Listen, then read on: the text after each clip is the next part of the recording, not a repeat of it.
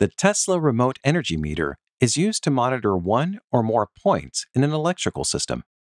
In contrast to integrated meters, its ability to be installed remotely outside of gateway or backup switch makes it versatile when planning an installation.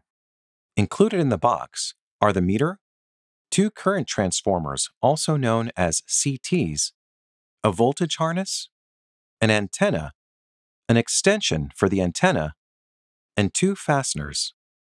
These are the dimensions of the Tesla remote energy meter. The Tesla remote energy meter functions by measuring the voltage and the current at certain points in the system. A line voltage harness is plugged into this port using black, red, blue, and white wires to measure the system's voltage and supply power to the energy meter. On the opposite side of the device, up to four current transformers, or CTs, can be plugged into these ports, labeled CT1, 2, 3, and 4, to monitor the amperage flowing through a conductor. At this time, ports 1, 2, and 3 may be used. CT4 functionality will be available at a later date. The product of these two values, voltage and amperage, equals wattage, the measurement used for power flowing through the electrical system. For the meter to calculate power flow correctly, two conditions must be met. The line voltage harness must be connected to the correct phases, and the CTs must be placed around the conductors of the correct phase in the correct orientation. To better understand energy metering, consider the phasing in a split phase residential electrical system. Two line conductors supply power to this panel, line 1 and line 2, represented by black and red respectively. Breaker spaces in this panel alternate between line 1 and line 2 on each row of breakers. For example, on this two pole breaker, the top pole is line 1 and the bottom pole is line 2.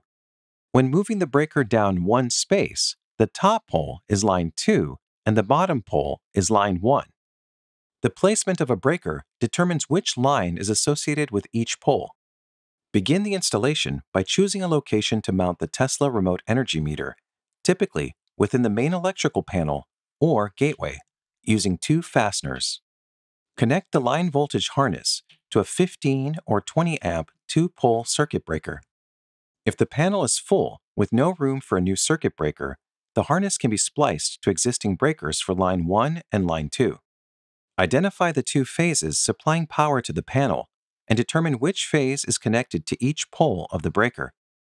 Perform a continuity or voltage test to verify which leg of the breaker is connected to line 1 and line 2. Connect the black wire to line 1. Splice both the red and blue wires together with a pigtail connected to line 2. Then, terminate the white wire on the neutral bar. Please note that splicing may be needed based on the allowable wire sizes in the panel. Plug the other end of this power harness into the Tesla remote energy meter. The four CT ports on the meter correspond to the three wires on the line voltage harness. Ports number 1 and 4 correspond to the black wire. Any CT plugged into these ports must be monitoring a line 1 conductor. Ports number 2 and 3 correspond to the red wire and blue wires. Any CT plugged into these ports must be monitoring a line 2 conductor. To install a CT, begin by plugging this end into the Tesla remote energy meter. Pinch the base of the CT to open it, then release to close the CT around one or more conductors of the same phase.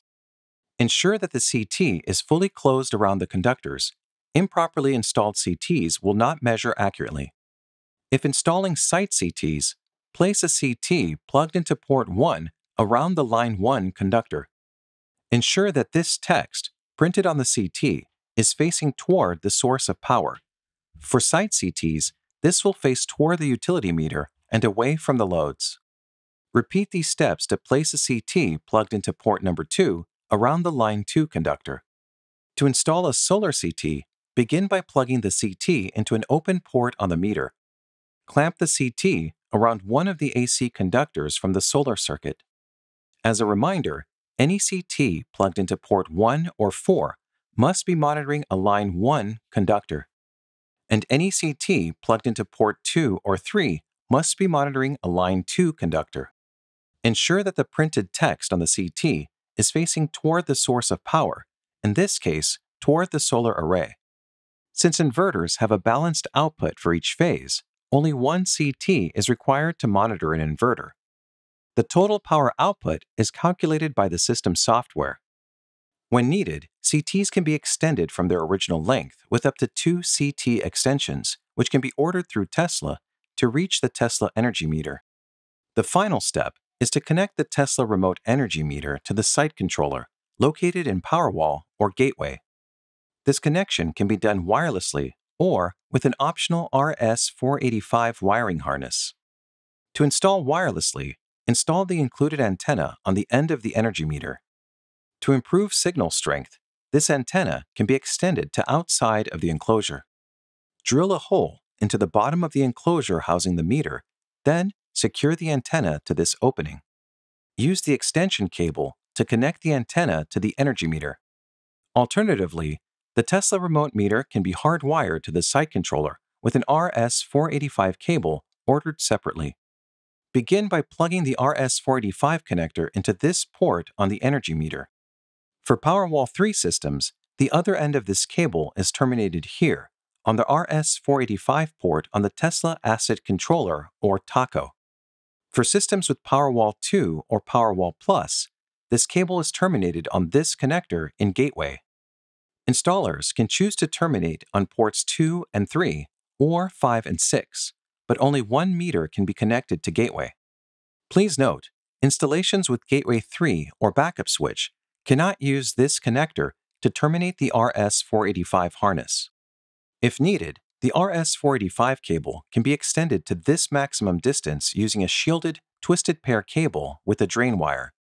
Once the meter and CTs have been installed, the breaker can be closed to power on the meter for pairing and setup. An LED on the meter illuminates green, indicating that it is powered on and operational. Meter configuration, including pairing the meter and selecting the function of CTs, will be performed during system commissioning in the Tesla One app.